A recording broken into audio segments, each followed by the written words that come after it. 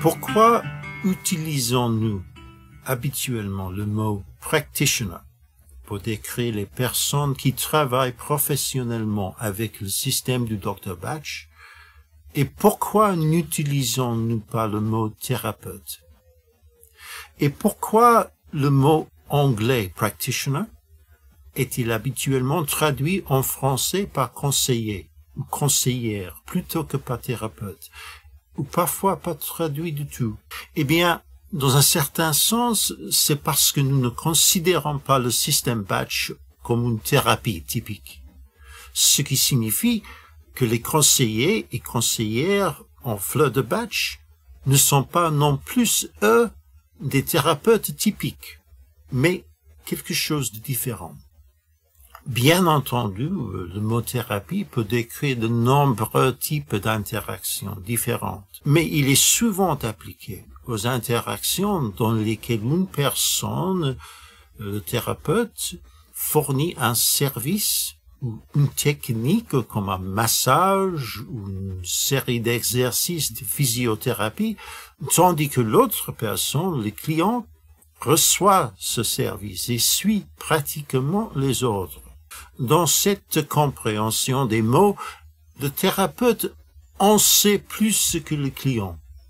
Le thérapeute possède l'expertise et prend les décisions. Le thérapeute agit et le client peut rester passif.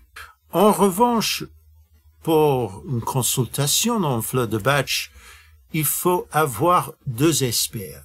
Le conseiller, la conseillère, c'est l'expert qui connaît le système batch et sait l'utiliser efficacement.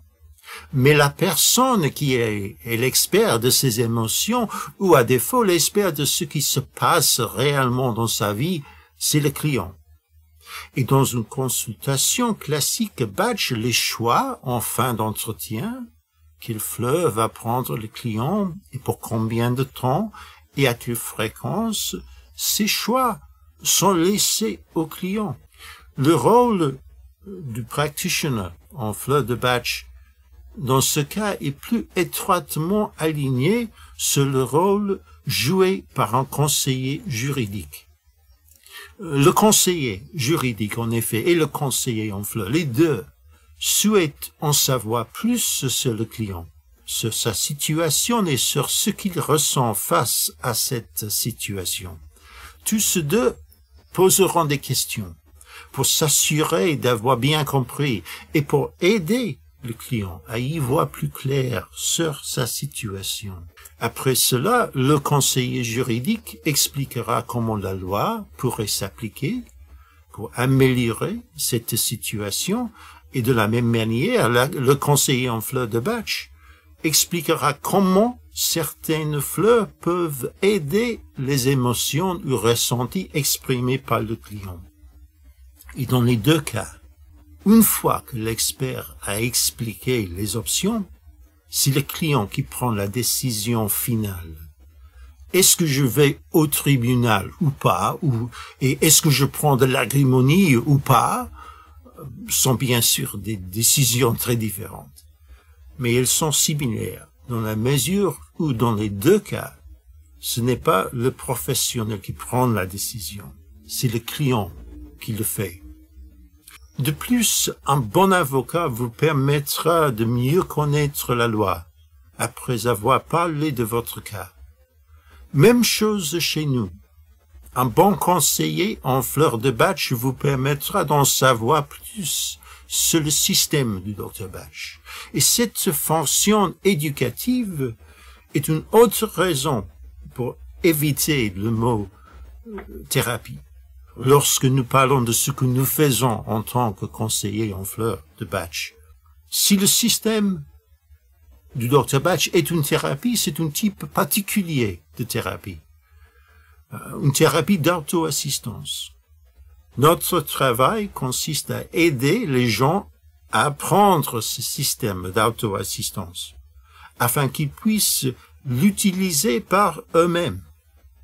Les écrits du Dr. Batch même nous le rappellent par le titre de son livre Guéris-toi toi-même. Cette fonction éducative est au cœur de ce que nous faisons.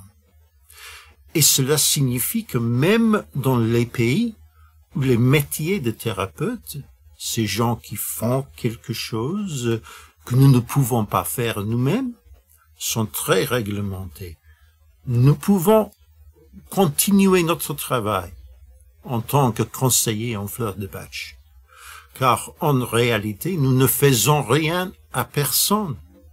Au lieu de cela, nous proposons aux gens les outils nécessaires pour s'aider eux-mêmes, s'ils le souhaitent et quand ils le souhaitent. Si un thérapeute est une personne qui soigne, or dans le système des fleurs de batch, ce sont les fleurs qui soignent, pas la personne qui les conseille. Nous enseignons, tout simplement.